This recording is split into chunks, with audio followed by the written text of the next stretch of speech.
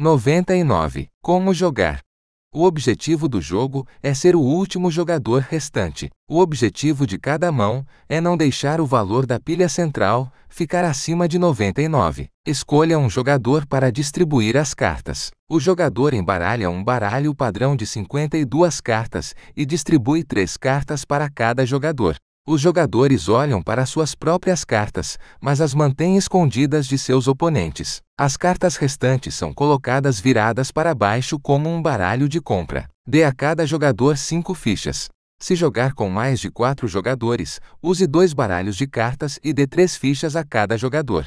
O jogador à esquerda de quem embaralhou joga primeiro e o jogo prossegue inicialmente no sentido horário. Na sua vez, você deve jogar uma carta da sua mão. As cartas são jogadas em uma pilha no centro da mesa. Cada vez que uma carta é jogada, ela aumenta o valor total da pilha central com base na carta que é jogada. Os ases valem 11 ou 1, o jogador escolhe qual o valor. As cartas de número valem seu valor de face e as cartas de nobreza valem 10, com as seguintes exceções. As cartas 4 valem 0 e invertem a direção do jogo. 9 contam como 0. 10 podem aumentar ou diminuir o valor da pilha em 10, o jogador decide.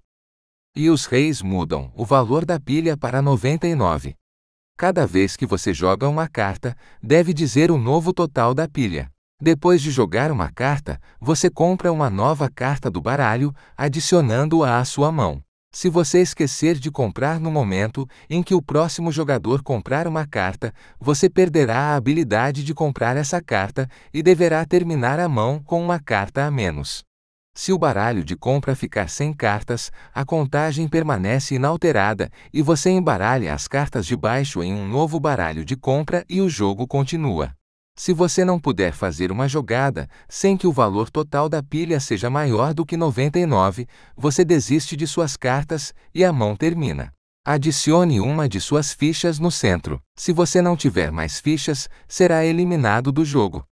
Após cada mão, o papel de quem embaralha gira no sentido horário em um para o próximo jogador que ainda está no jogo.